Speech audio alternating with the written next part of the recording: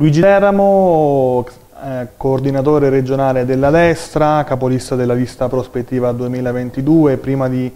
tuffarci su queste elezioni amministrative fare un piccolo passo indietro per spiegare, per capire cosa è accaduto con le elezioni primarie a cui lei è stato alla fine l'unico candidato che poi sono state annullate e poi per passare alla successiva decisione di sostenere Giorgio De Matteis candidato sindaco. Ma in sostanza possiamo dire che questa è stata una delle storie più brutte e più buie della politica aquilana e della politica del centrodestra aquilano. Eh, C'era questo accordo di coalizione ratificato anche dal cosiddetto livello romano per svolgere le primarie del centrodestra nella città dell'Aquila. Io eh, ovviamente rappresentato e rappresentante di un partito ho posto la mia candidatura alle elezioni primarie e il PDL, in particolar modo l'architetto Properzi, ha ritenuto di fare un passo indietro eh, tradendo anche una posizione assunta di fronte alla città e di fronte agli alleati del, del centrodestra non partecipando alle primarie, facendo in modo che queste saltassero e quindi impedendo ai cittadini aquilani di potersi esprimere nella scelta di quello che eh, ritenevano il miglior candidato possibile. Eh, poi abbiamo visto che Properzi si è fatto imporre come con la sua candidatura dal cosiddetto livello romano e eh, chiaramente noi non potevamo assolutamente sostenere una persona che è un partito che nell'arco di pochissime ore prima ha assunto un impegno pubblico per poi tradirlo nelle successive nei successivi giorni. Quindi chiaramente chi è capace di fare questo in una situazione di campagna elettorale è evidente che eh, sarebbe capace di farlo anche al governo della città e quindi non ritenendo assolutamente serie da un punto di vista politico queste persone abbiamo ritenuto di fare un percorso diverso e quindi di convergere dopo aver avuto un confronto sui programmi, sulla impostazione di quella che dovrà essere la futura azione amministrativa nel Comune dell'Aquila, abbiamo appunto ritenuto opportuno condividere e appoggiare la candidatura di Giorgio De Matteis. La tentazione di candidarsi a sindaco comunque c'è stata?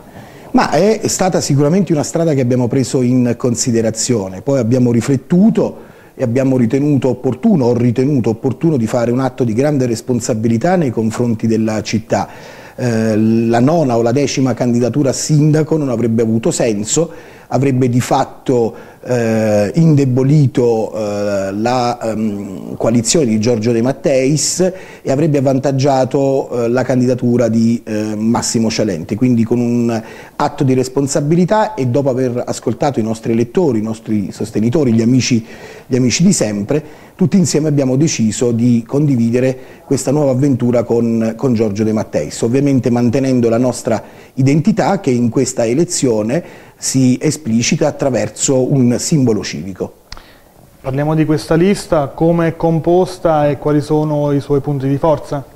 Ma Prospettiva 2022 è un contenitore che va anche oltre la destra di Francesco Storace, accoglie anche persone che provengono da altre esperienze politiche chiaramente riconducibili all'ambiente culturale del centrodestra eh, è una lista che rappresenta un po' tutti quanti gli spaccati sociali e professionali della città dell'Aquila, ma è soprattutto una lista prevalentemente composta da persone che per la prima volta si affacciano alla politica. Abbiamo eh, giovani, tantissimi giovani, eh, questo proprio per garantire un ricambio generazionale, ma abbiamo anche persone mature eh, che si sono messe a disposizione della, della città. Credo che sia una delle migliori espressioni eh, che eh, oggi ehm, la politica eh, offre all'elettorato, all aquilano. Io eh, sono convinto che Prospettiva 2022 sarà la sorpresa di queste elezioni comunali. Ultima cosa, quale sarà il competitor eh, più aggressivo comunque con il quale Giorgio De Matteis dovrà fare i conti tra gli altri sette in lista? Ma io credo che ormai tutti quanti abbiano compreso perfettamente bene che la battaglia elettorale è tra Giorgio De Matteis e Massimo Cialente con, chiaramente con grandissime chance e possibilità che eh, Giorgio De Matteis sia il nuovo sindaco della città dell'Aquila. Noi all'interno di questa coalizione abbiamo portato anche eh, tre punti programmatici che sono stati il cavallo di battaglia eh, nei mesi precedenti. Eh, innanzitutto eh, il rifacimento completo del cosiddetto piano di ricostruzione perché quello licenziato dall'amministrazione comunale Cialente eh, è ormai un dato di fatto, lo hanno detto anche le organizzazioni eh, di categoria e eh, gli ordini e le professioni, è un piano di ricostruzione finto, vuoto ehm, e quindi chiaramente per garantire una ricostruzione veloce e certa va completamente rimpostato. Il secondo punto è quello della sicurezza. Oggi L'Aquila eh, vive una condizione di forte stress e di forte crisi sotto questo punto di vista, ormai i casi di furti, rapine, aggressioni sono eh, notizie che leggiamo quotidianamente su tutti gli organi di informazione e credo che vada fatta una seria azione concertata con Questura, con Prefettura, con il Ministero degli Interni per garantire che il capoluogo di Regione torni ad essere un'isola felice. Terzo punto, l'occupazione per i nostri giovani. L'Aquila ha necessità di riacquistare una strategia, eh, una nuova visione per questa città, un, soprattutto una nuova vocazione. Noi dobbiamo stabilire